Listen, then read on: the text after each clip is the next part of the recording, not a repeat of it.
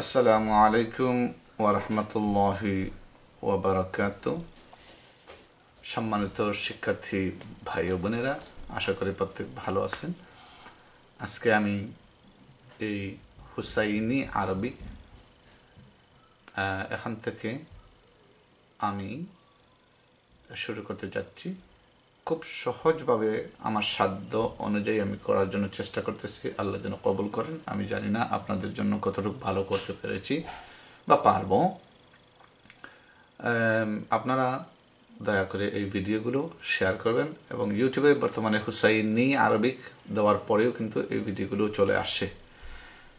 তো এই ভিডিওগুলো যারা একেবারে কোরআন মজিদ কখনো পড়তে পারেননি, তাদের জন্য খুবই সহজ হবে আশা করতেছি। তো আসুন আমরা সময় এখানে লম- দীর্ঘ না করে আমরা সোজা আমাদের ক্লাসে চলে যাই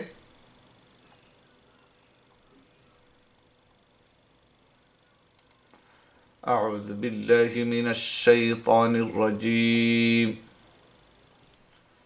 بسم الله الرحمن الرحيم তেইশ নম্বর হবে আয়াতটা আর ভিডিও নাম্বার হবে সতেরো নম্বর ভিডিও ওয়ে وإن وإن এখানে দেখুন আহ,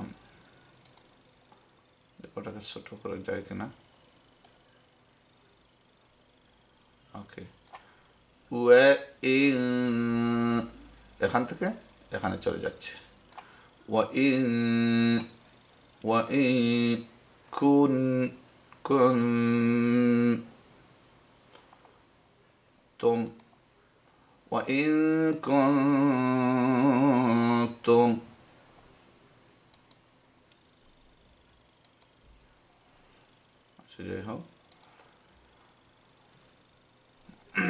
في آه،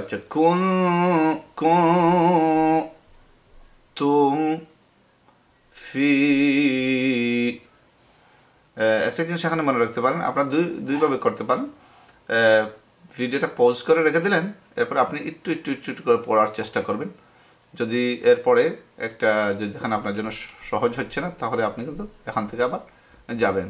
তো এখানে আসার পরে এখানে পজ করে নিলেন, আবার এই শব্দটুকু নিজের থেকে বলার চেষ্টা করলেন। অথবা আমি বলার পরে আপনার ভিডিও পজ করে, ওটা দেখে দেখে কয়েকবার কেন হচ্ছে এগুলা একটু চিন্তা করে, বাহির করার চেষ্টা করবেন, সাথে সাথে বাচ্চাদেরকেও চেষ্টা করবেন শিক্ষা দেওয়ার জন্য। ফি, র, রটা হবে মোটা সেটা আমি তার যদি এখনও নেই নেই। তো র, ই সো ইয়া যখন সাকিন হবে, তখন ই হয়ে যাবে ইয়া সাকিনের আওয়াজ লাইক ইয়াংকি, আমরা যেটাকে বলি, ই ইয়া ইয়া সো ইয়া বলার প্রথম আওয়াজটা ই, এতটুকু। রয় বি এখানে দেখুন বিন, তো বিন আমরা বলব না, যেহেতু আমাদের ওই ইয়াতে যেতে হবে মিমেতে যেতে হবে। সো বি একটার আওয়াজ হবে, তবে মিমটাকে গুণনা করবেন, কারণ মিমের উপরে তাসতে যাচ্ছে। এরপরে দ্বিতীয় আওয়াজটা মিমের হবে, এখানে মি, বিম, মি, এরপরে আবার এখান থেকে জাম মারবে, এখানে আবার আপনারা গুণনা করবেন। মানে গুণনা হচ্ছে মুখের আওয়াজটা মুখটা বন্ধ করে নাক দিয়ে যে আওয়াজটা আসে, সেটাকেই আমরা গুণনা বলে থাকি।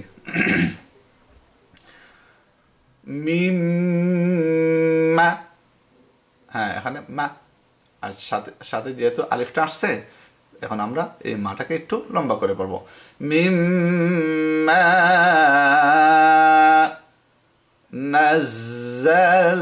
নাজ্জাল। এখান থেকে আপনি না থেকে প্রথমে যার মধ্যে একটা চাপ দেবেন। আর দ্বিতীয় আওয়াজটা হবে এখানে। যা আ যা।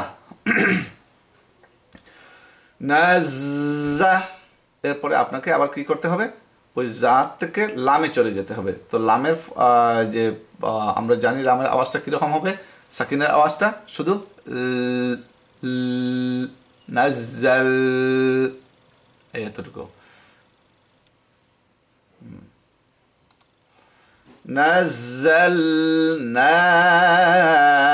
কেন লম্বা হচ্ছে জানেন? এখানে নুনের উপর জবর, তো এটা আমরা জানি খাটো হবে, কিন্তু সাথে যেহেতু আলিফ আসছে জবরের পরে লম্বা হয়ে গেছে।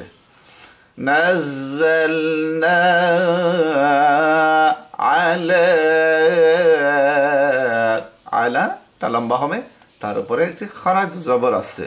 হ্যাঁ যদি জবরটা এরকম হতো, তাহলে কিন্তু এরপরেও কিন্তু লম্বা হতো, কারণ একটা তাজুদের একটা রুল একটা ইয়ে আমরা আরিফে মাকসুরা বলে থাকি। তো ওদিকে যাওয়ার দরকার নেই। আমাদের শুধুমাত্র দেখবেন আপনারা খারা জবর আছে কি না এই খারা জবরটা যদি আমি নিচ থেকে যদি নিয়ে নেই, তারপরেও কিন্তু লম্বা হবে। আসবে সামনে দিয়ে আমি বুঝাবো আপনাদেরকে। আবে আবে দি আবে দিনা ফ্যা আচ্ছা এখানে দেখুন এটা আলিফ। এই দেখুন, এখানের মধ্যে একটা জিনিস আপনারা লক্ষ্য করুন। এখানে যে ফা, এরপরে আমি এটাকে আমি উড্ড করে দিচ্ছি। শুধু ফাটা দেখুন আপনারা। এখন এই ফাটা কি হবে? লম্বা হবে? না। কেন?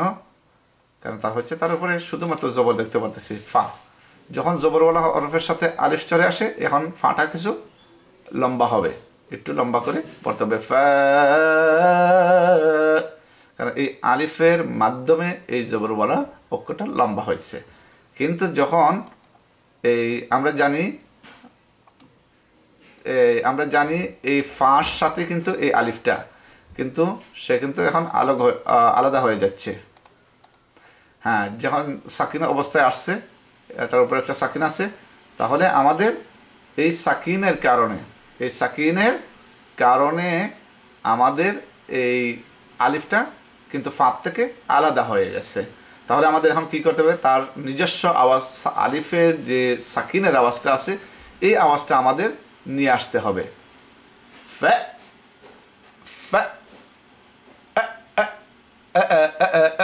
এরকম হবে না। ফ্যা তু ফ্যা তু আচ্ছা ফ্যা তু আচ্ছা এই যে আরিফটা দেখতে পারতেছেন যে আমরা জানি ওয়াসাকেন তার ডাইনে পেশ হলেই কিন্তু আমরা, এই পেশওয়ালা অক্ষরটাকে লম্বা করব। তাহলে আলিফ কেন? আলিফ এটা লেখার জন্য আসছে, এটা গ্রামাটিক্যাল ভাবে এটা লিখতে হয়। যাই হোক, এটা কিন্তু এর সাথে কোনো সম্পর্ক না। এখন আপনাদের জন্য সেটা বলতেছি, যারা অর্থ তুলেন বা অর্থ বুঝেন তাফসির, তাদের জন্য বা লিখতে এটা দিতে হয়। তো এটা নিয়ে আপনারা চিন্তা করবেন না যে এটা যেহেতু আলিফ আছে বা ওয়াও আছে, আমি কি করব? মানে আলিফটা, মনে করবেন এখানে আলিফ নাই। মনে করবেন। বুঝতে পারছেন? কিন্তু আমরা লিখতে গেলে এটাকে দিতেই হয়। এটা অন্য একটা কারণ।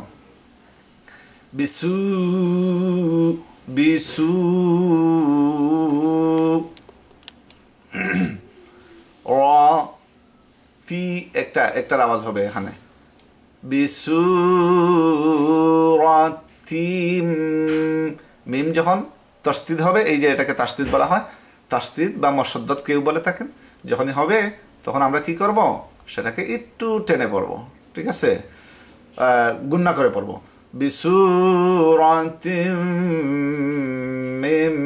এখন এই যে মিনটা আছে, এটাতে আমরা যাব না, কারণ আমাদেরকে ওই ওখানে জাম করতে হবে। তো আমরা কি করব এখান থেকে? সুজা চলে আসব এই মিমে।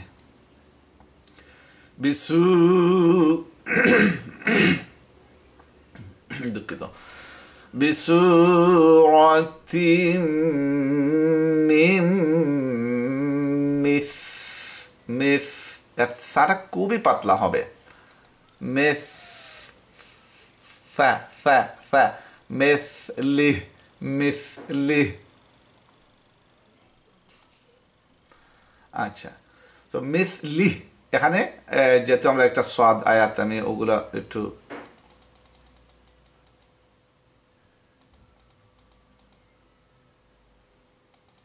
আচ্ছা।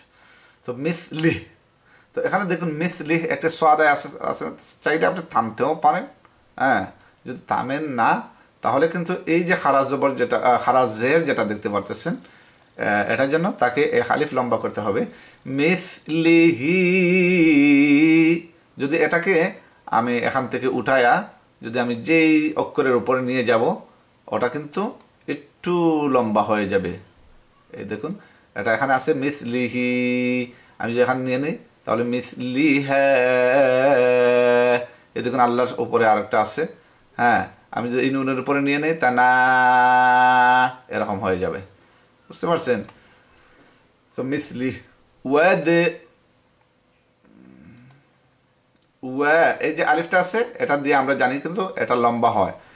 জবরের পরে যদি একটা আলিফ থাকে, তাহলে অবশ্যই এই জবরওয়ালা অক্ষরটাকে লম্বা করতে হয়। কিন্তু এখানে একটু আমরা, আমাদের কি হচ্ছে, এই দালটা যেহেতু সাকিন, তাহলে আমরা আলিফটা এখানে আমরা ধরে নিচ্ছি না। আলিফটা থাকবে, বুঝতে পারছেন? কিন্তু আমাদের ওই আলিফের উপর দিয়ে যেতে হবে, ওয়াদে ওয়াদে, ও শু হ্যাঁ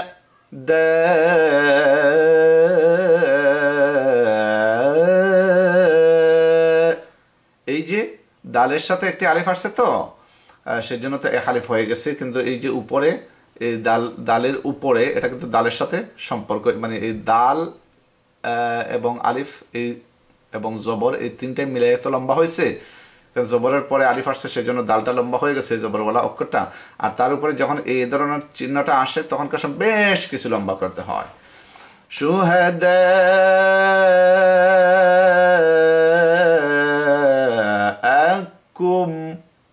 আকুম এখানে আমরা এই যেহেতু আমরা তস্তি দেখতে পারতেছি, তো এখানে কিন্তু তিনটা মিম, এখানে দুইটা, এখানে একটা। তো এটার চেয়ে এই দুইটার পাওয়ার বেশি, যেহেতু তারা এখানে একত্রিত হয়ে গেছে। তাহলে আমরা কি করব? এখান থেকে কুম বলে এনে চলে যাব। আর দ্বিতীয় আওয়াজটা হবে মিন। মিন। হ্যাঁ এই যে। আচ্ছা। কুম মিন এখানে কেন করতেছি, ওটা তাজুদের ব্যাপার।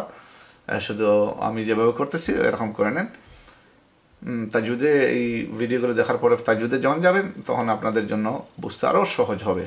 দু নীলাহি নীলা নীলাহি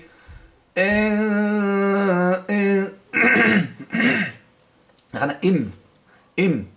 কিন্তু আমি বলার সময় একটু এরকম করতেছি, ওটাও তাজবিদের। ইন ঠিক আছে, আপনারা এখন ইন বলে ফেলবেন, অসুবিধা না, তাজবিদ শেখার পরে আর ইন বলবেন বলার সুযোগ নেই। ওটা তো তাজবিদে গেলে কিন্তু আমার ভিডিওগুলো দেখার পরে আপনারা বুঝতে পারবেন। ইন কুন তুম স দি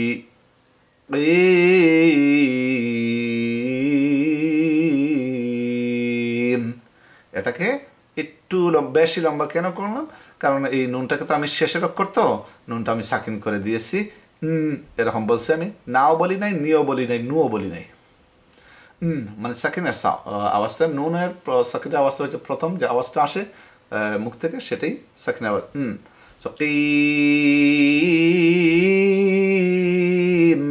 তো শেষের অক্ষরটা সাকিন করার করেছি আমি তার আগে কিন্তু আমরা দেখতে পাচ্ছি এক হারিফ লম্বা, ইয়া সেকেন্ড, তার ডাইনে জের।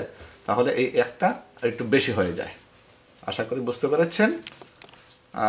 ওকে পরের ভিডিও আঠারো নম্বর আমরা চলে যাব।